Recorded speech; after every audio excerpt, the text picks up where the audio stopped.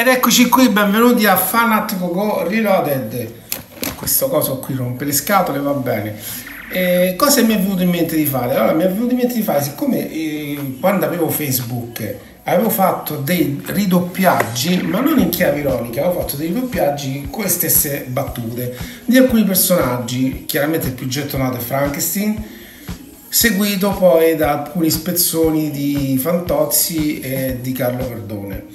Ora mi siamo chiesto come si fa a imitare la voce di Fantozzi. Allora, Fantozzi prima di tutto, eh, fare imitazioni di Fantozzi diciamo che è abbastanza facile, è come quella di Celentano, infatti dopo Celentano penso che sia il personaggio più imitato mondo, in Italia diciamo, no al mondo, in Italia.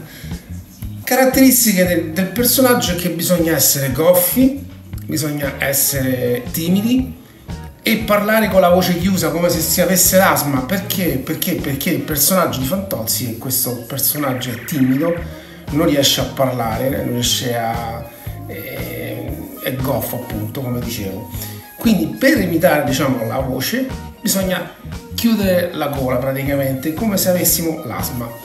E tipo per esempio, permesso!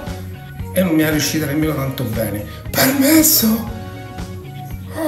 Non dà la mano, ma come umano lei.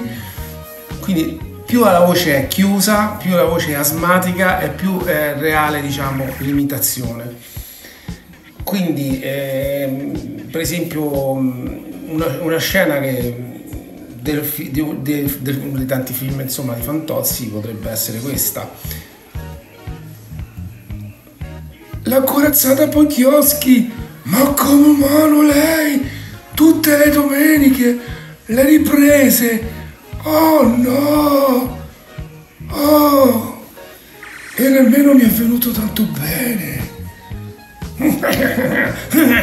sì, ogni tanto fa queste risate un po', diciamo, eh, strane, insomma, delle, delle risate strane in cui quando...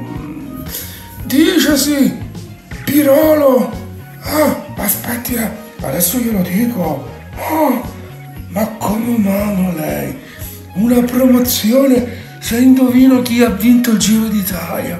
Oh no, non me lo ricordo. E va bene, dopo questo misero tentativo di fare, di provare a fare l'imitazione di Ugo Fantocci, Ugo Fantozzi, ogni personaggio di questo tipo ha sempre una spalla che è che lo rende ancora più tipico, per esempio su Fantozzi abbiamo il direttore mega galattico, come su Fracchia che è la stessa cosa di Fantozzi come caratteristiche, cioè se ha questa voce chiusa. Eh, abbiamo eh, Gianni Agus che è sempre il direttore ultragalattico, possiamo dire, perché degli anni 70, chi se li ricorda insieme a me.